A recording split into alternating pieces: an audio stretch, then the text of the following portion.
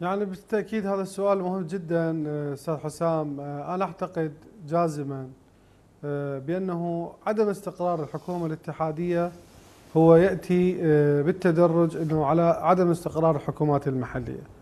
ما دام إنه إحنا حكومتنا حكومة جاءت بأوضاع استثنائية ودائما عدم التوازن السياسي. وأتحدث وياك بكل واقعية بأنه إحنا نظامنا السياسي ونظام هجين.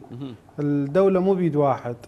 تعدد مصادر القرار وتعدد مصادر القوى وقوى وأحزاب تتعامل هي أكبر من الدولة وتخرق القانون.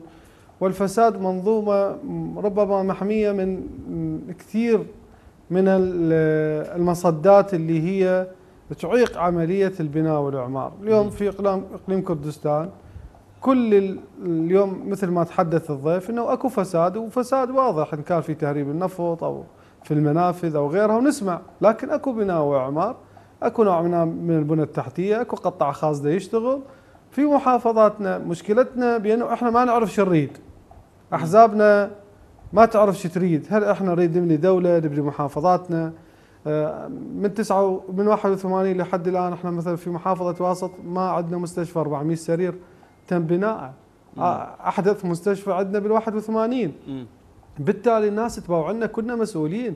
كل إحنا يشوفونا فاسدين وكل إحنا يشوفونا مقصرين وكل إحنا يشوفونا بأنه عركة بين السياسيين والأحزاب. المواطن الفقير اللي الآن أنا عندي في المحافظة أكثر من 210 قرية ما عندها مصالح للشرب. من يفكر بها مثلا مع احترامي بعض القادة في بغداد يفكرون أنا عندي 210 قرية ما عندهم مصالح للشرب أو عندي أكثر من 45 قرية ما عندهم كهرباء وإحنا بالعام راح نطب ال 22 أو عندي مثلا أكثر من 500 كيلو آه، من الطرق هي غير صالحة للاستخدام. بالتالي بأنه مشكلتنا و أعتقد إحنا في أزمة إدارة. سوء الإدارة هو أبواب من أبواب الفساد.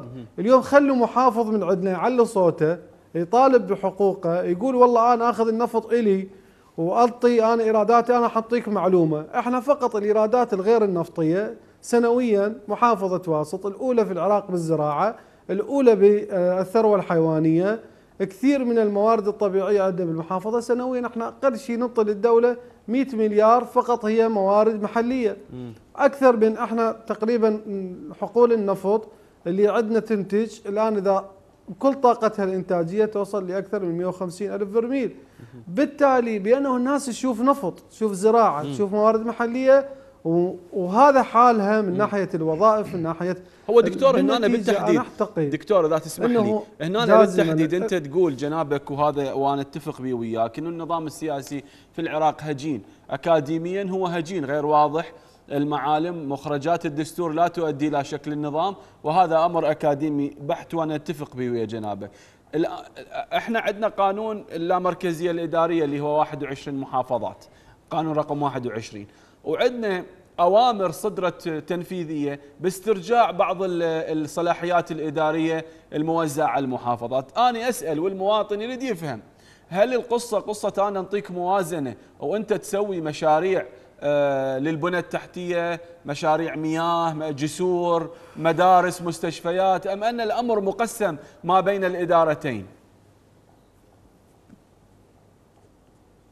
خويا أستاذ حسام نحكي بصراحه نظام اللامركزية تم تم محاولة إجهاضه في محافظات الوسط والجنوب وعموم المحافظات.